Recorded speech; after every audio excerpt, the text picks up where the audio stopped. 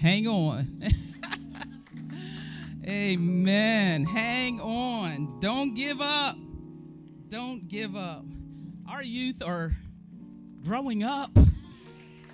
Growing up fast. Praise God. Awesome. They did an awesome, awesome job to the glory and honor of God today. Father, we thank you. We praise you, we magnify you, we exalt you, we glorify you, Father. You are worthy. You are worthy, Father. You are worthy. We give you all the praise. We thank you for this day, oh God. We thank you for who you are, all that you are to us. We give you praise. And as I stand before you, as we all stand before you this day, oh God, we ask that your will be done. Use us for your glory, O Lord. Let our light shine in this dark world so that men and women, children everywhere will see the good works that you're performing in us and desire to glorify you in heaven. Now, Lord, as I stand, I ask that you use me as your vessel of honor. That that you have for us today, oh God, we receive it with a heart, a receptive heart and we walk in obedience to your word. And we thank you for your many blessings. We thank you for your blessings. We thank you for your grace and for your mercy. In Jesus' name, amen. Amen. Praise God. We give all glory and honor unto our Heavenly Father, our Lord Jesus Christ, and the Holy Spirit that leads and guides us each and every day of our lives. To our Bishop Simmons, Elder Fred, Pastor Toby, to his beautiful family, to our mothers, praise God, our beautiful mothers, to each and every one here in the building. Saints, we are blessed today. We are a blessed people. We're here. We're, we're, we're alive. We're, we've made up our minds to come out to church service and to magnify God, to be in fellowship. We are blessed may not have everything we think we should have or want to have, or things aren't going the way we would like them to go, but we're blessed. We are still blessed, and we give God all the praise. Our word for you today is a word that we know very well, New Life. And it's our scripture that I, I believe that the Lord gave to our bishop and first lady. They weren't bishop and, and, first lady at that time, they were pastor and first lady when we were at 7th and Dunbar. my cousin just walked in. And um, I love all my cousins. I haven't seen him. I haven't seen him in a while. But um, see, you didn't tell me they were coming this morning. um, the Lord gave them the scripture when they gave them the new name for Glassboro Glorious United Pentecostal Church. That's what we were known as. And when they came in and the Lord put them in place, they changed the name to New Life in Christ Ministries. That was the name that the Lord had given them, had placed on their heart. And the scripture, Second Corinthians 5.17. New Life, do y'all know New uh, 2 Corinthians 5.17?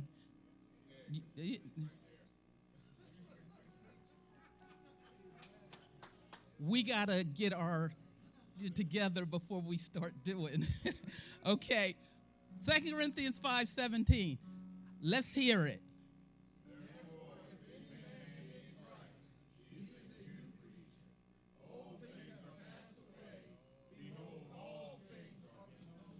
Amen. Amen. That says a lot.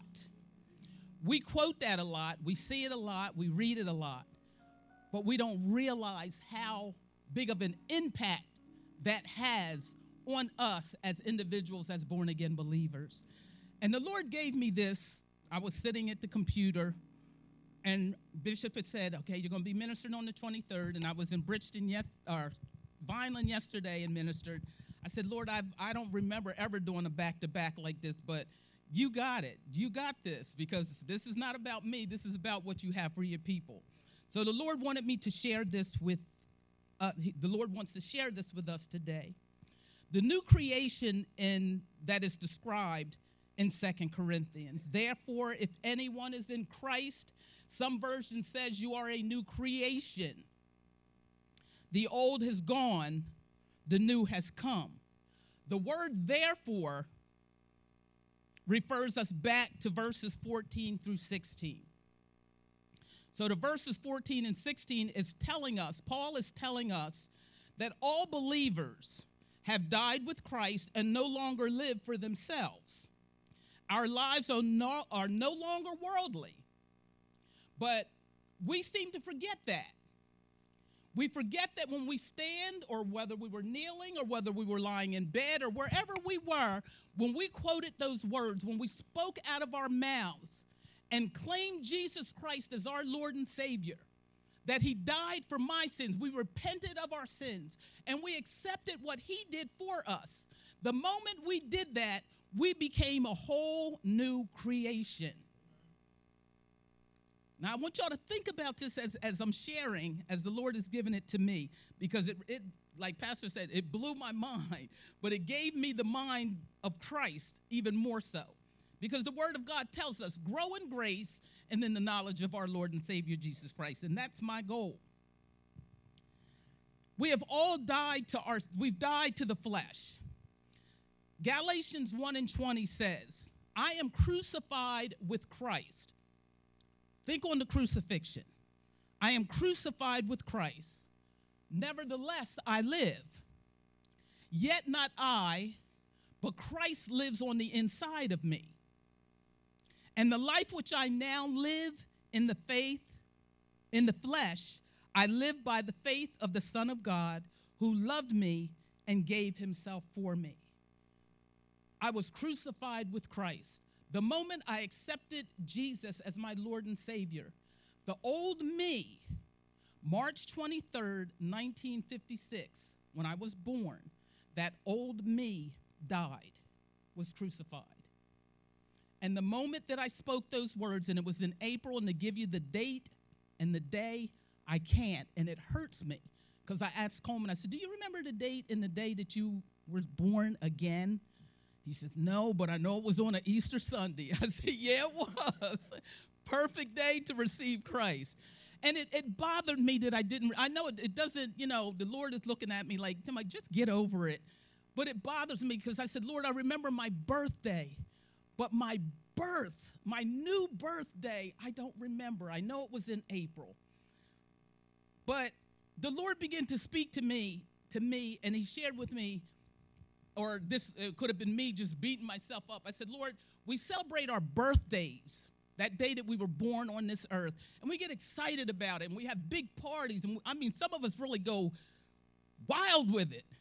I have a sister in law, when she worked, she took a whole month. She would save up and take a month off. Some take weeks off for their birthdays to celebrate that time. And it's a good thing. Am I putting it down? No. But we, as born again believers, when we do celebrate those that day, we got to be careful of some of the things we do. Because as born again believers, we got to be born again believers in all that we do. We got to give God the glory. And it's okay. But knowing that we were crucified with him, our death is that the old sin nature, which was nailed to the cross with Christ, it was buried with him. And just as he was raised up from by the Father, so are we raised up to walk in the newness of life. So the things that we do, we, we get caught up in when we look in the mirror and we see ourselves as we are as we grow. From the time that we can understand and comprehend of looking at ourselves and knowing who we are, and we see we're growing older. We look at our children, they're growing older, our grandchildren, they're growing, things change.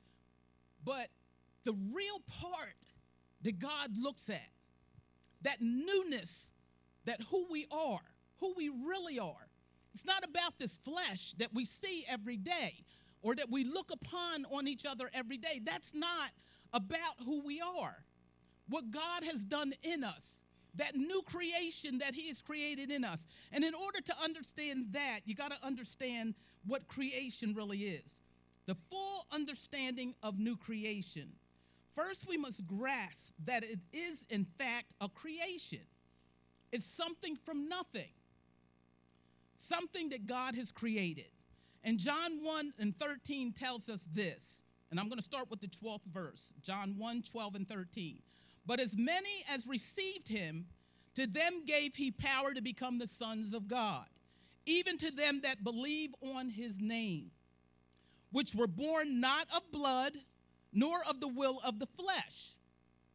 See, my mom and dad came together for me to be born, for me to be here. But it was God's will for me to be born again. He chose each and every one of us that are sitting in this building that are born again, that is claiming Jesus Christ as your Lord and Savior. He allowed you to be born of Him into His family. So that makes us a whole new individual. We may not look it on the outside, but on the inside, which He looks at, which He recognizes, that's who we are. We did not inherit the new creation, nor did we decide to recreate ourselves anew, nor did God simply clean up our old nature. He created something entirely fresh and unique. See, see yourself. This is how we need to begin to see ourselves. The new creation is completely new, brought about from nothing. Just as the whole universe was created by God, ex nihilo, from nothing. Ex nihilo, something from nothing.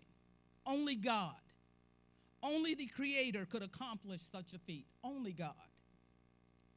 Old things have passed away. The old refers to everything that is part of our old nature. So if, if, if we find ourselves doing the same thing that we used to do, you're, you're dragging around something dead on you, and you got to get rid of it. The old things are, are dead, they're, do, they're done away with. That natural pride, love of sin, reliance on works, relying on what I can do in order to get in good with God. Lord, I come to church on Sundays. I'm here on Wednesdays. I'm at prayer at noontime. I'm giving my tithe. It's not about your works. He didn't do that because of works, He did it because of love. He loved us. While we were yet sinners, He loved us. And He allowed His Son, His only begotten Son, to come down to give His life so that we may have life everlasting, abundant life. Not only when He calls us home, but while we're here right now, abundant life. Habits and passions, our former opinions. It's not about how I think or how I feel, it's about what thus saith the Lord.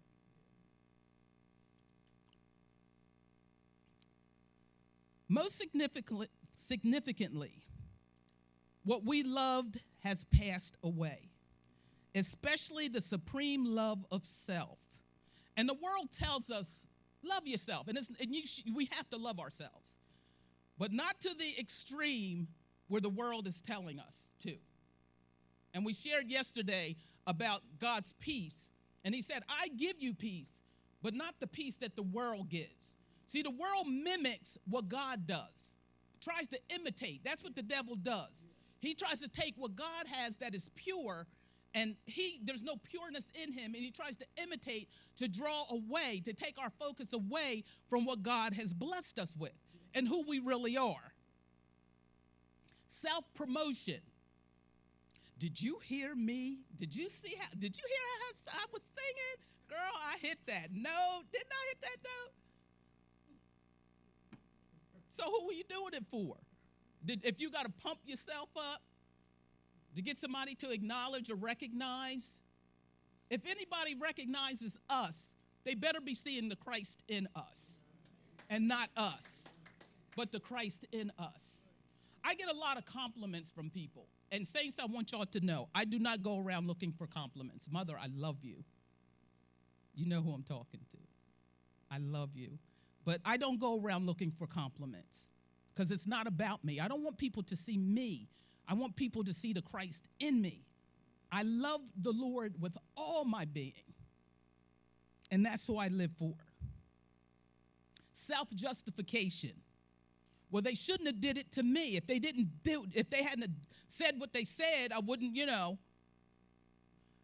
There is no justification in doing wrong. It doesn't matter what they did. In my case, it doesn't matter what they did because the Lord is going to judge me for my actions and my reactions. First Lady, I'll never forget that. I'll never forget that. We had a Bible study, and it was dealing with actions and reactions. People can say things about me, about you, do things to you, but God is going to judge. He'll take care of them, but He's going to judge you for your actions and your reactions. Individually, we've got to look out, take care, make sure you're doing what's right in the eyes of God. The new creature, the new creation looks outwardly towards toward Christ instead of inwardly towards self. The old things died, nailed to the cross with our sin nature. So saints like Paul said, examine yourself. Daily, examine yourself. Lord, am I still doing things? Do I still have habits in my life that are from the old nature? Because they should be dead. Die to flesh daily. Don't allow that old nature to take hold that you begin to become comfortable in it. Galatians 1 and 5 tells us that we shouldn't, let me get, I'm going to read it, get it and read it right. 1 and 5, stand fast, therefore, in the liberty wherewith Christ has made us free, and be not entangled again with the yoke of bondage. Don't allow habits, old habits, to hang on for so long that it begins to take control and, and it becomes comfortable to you. And then you don't even recognize it as being sin anymore. And that's the trick of the enemy. That's where he wants you to be. You may ask, what about a Christian who, who continues to sin? Okay, and we hear that. We've heard that. You know, they say they're born again, but they're still doing the same old thing. They're, they're, they're still sinning. There's a difference between continuing to sin and living in sin. As long as we're in this flesh, and Paul tells us in the seventh chapter of Romans, if you read the seventh chapter of Romans, Paul tells us about the sin nature that he's that the flesh and the things that he would love to do he don't do the things he find himself that he doesn't want to do that's what he find himself doing and why does he say this? He, uh, oh, wretched man that I am, who can deliver me out of this?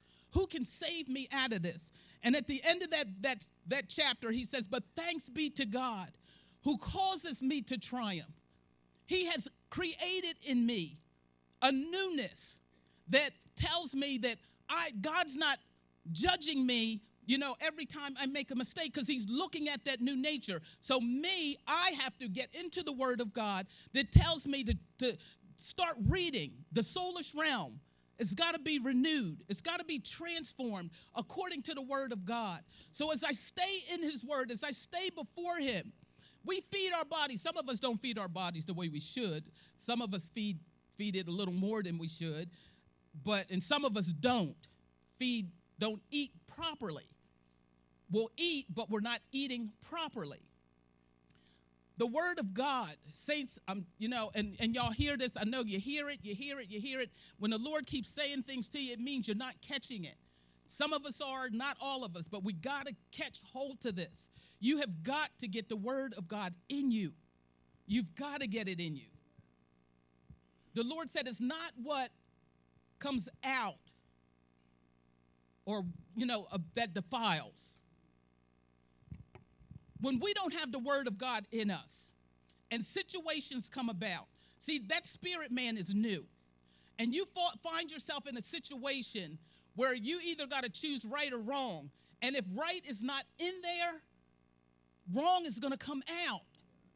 And we've got to represent who we are in the right fashion and we're doing it wrong. We're too many times we're saying things and doing things that are so out of character of what God has created us to be.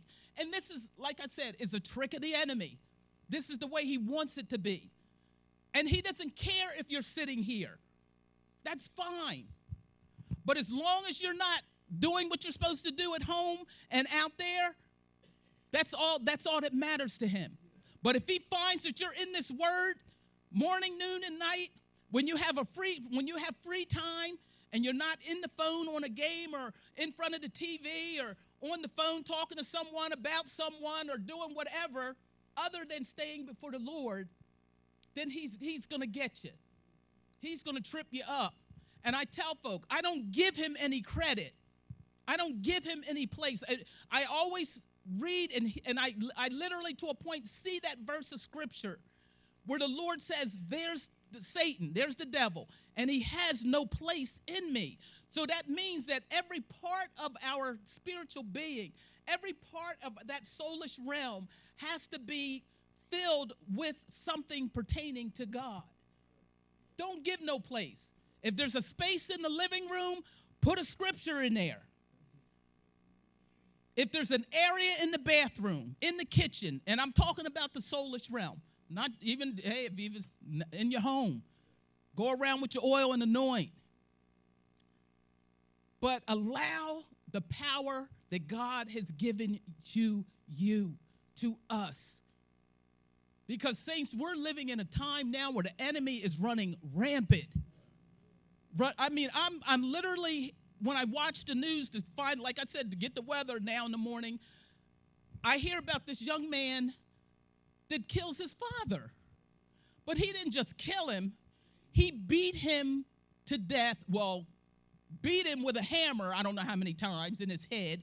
And then while he was down on the floor, he goes get a knife and just begins to stab him. I don't know how many times. And I'm, st- I mean, I was on my way out the room and I hear this and I'm standing there almost like in shock where the children are disrespecting, dishonoring their parents. And he just gave himself up like, you know, no big deal. He didn't do what I asked him to do. So, you know, he got what he deserved. And, and I'm heart wrenching. But let me tell you, if your mind isn't saturated with the Word of God, if your soul is not being transformed by the Word of God, if you're not knowing who you are, walking in who you are, who God has called you to be, the enemy could do the same thing to you. Because it's a matter of taking that soul, that mind, that will, the emotions, and twisting it up so till you believe that what he's saying is truth. And you will begin to act on it. This is how detrimental and how life threatening this is. This message truly is if you just grab hold and understand you are a new creation. Old things have passed away. If you continue to walk in the old ways, you will become dead. The end of that life is death. Don't take your salvation for granted. Actions do speak louder than words. And as Paul said, you know, even though this flesh acts up, but if you feed it, it's going to act up even more and it will take control. How many of us have tried to go on a diet and stayed on it, lost the weight we wanted? You lost all the weight you wanted. You feel good. I did it. I accomplished it. Willpower don't work anymore. So what is that telling you? Willpower used to work because I used to do it when I was in high school and in college. Willpower worked.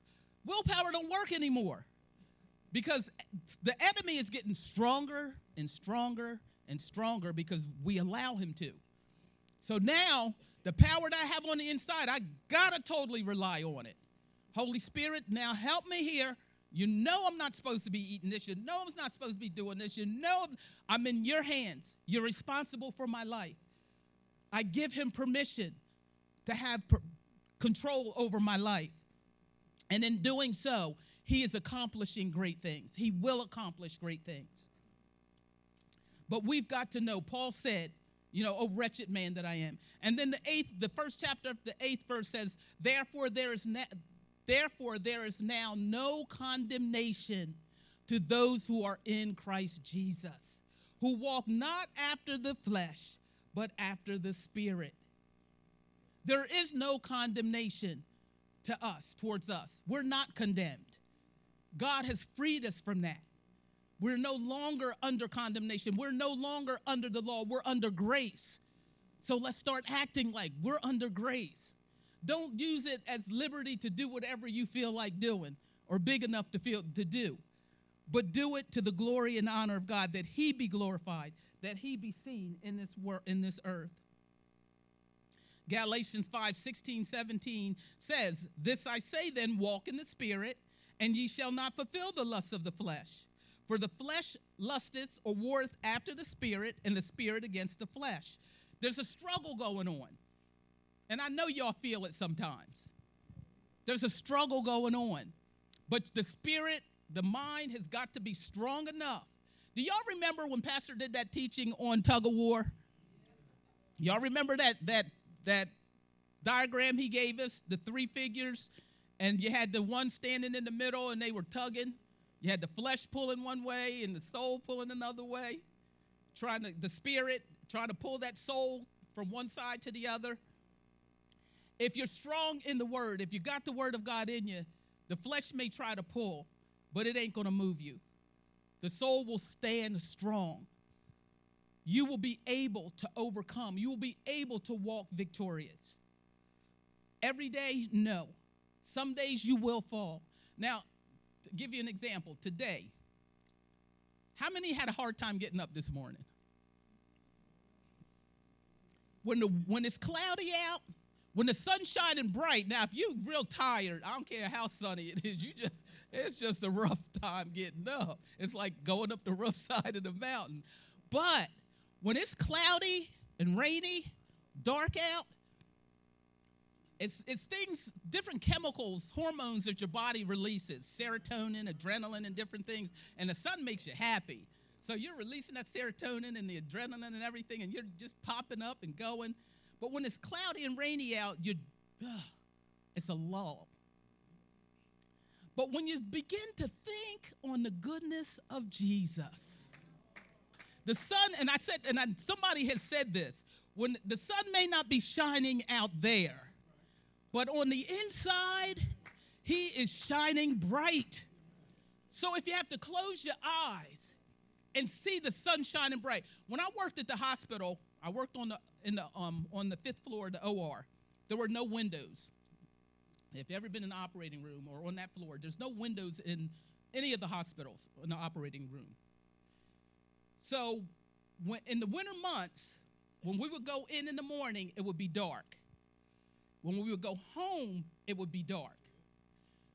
On our breaks and our lunch, we had to leave that floor. Go. You didn't have to go outside, but you had to go down where there were windows. Find a window and just stand there. And they told us that. The doctors, different ones told us, just go out. Because they was some miserable people on that floor. I mean, miserable. But see, it didn't matter to me. I didn't have to go anywhere to get any sunshine because I had the sun shining on the inside. I learned that. I had the sun shining on the inside. And Shirley would bounce up into the lounge and say, Good morning, folks. Shirley is here. And they say, Who you think you are, Jesus? Yep. That's who's shining on the inside of me. A lot of people think Shirley's crazy. But like Pastor said, I've lost my mind and I've taken on the mind of Christ. And when you get into that attitude, it's not about what people think about you. Because the time is going to come that they're going to need that that you have on the inside of you. Be prepared. But we are a new creation. God took something, nothing, and made us new. Romans 5 and 1 Therefore, being justified by faith, we have peace with God through our Lord Jesus Christ. Everyone in here is born again. Amen? Amen? Praise God. By whom also we have access by faith into his grace, wherein we stand and rejoice in hope of the glory of God. Stand fast in the liberty wherewith Christ has made you free. We are a new creation, and it is a wondrous thing. We were formed in the mind of God and created by his power and for his glory. We were formed in the mind of God. He thought about you individually of how he wanted you to be. And then he formed you, he created you with his power. So now we should see one another differently. We don't judge one another. We don't criticize one another. We don't talk down about one another. We don't backbite. We don't talk about one another because y'all belong to God. You're God's property. You're God's children. We see one another in a different light. We are the righteousness of God in Christ Jesus. Amen. Amen. Praise God. Bishop, we've got a lot to do today. So, God be the glory. Excellent job. Excellent job. Yo.